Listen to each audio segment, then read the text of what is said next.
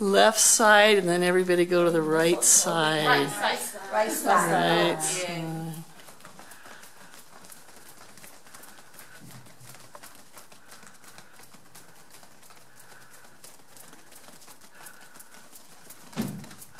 And then just give those shoulders a nice squeeze. Nice squeeze. There we go. 你的龙虾爪。你这班很天才，会摆 pose。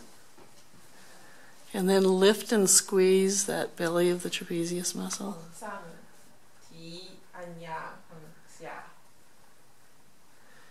And then let your hands just come to rest. 慢慢的手扶住就好，扶住就好，扶住就好， And then bring your hands away 慢慢的。 and down to your side.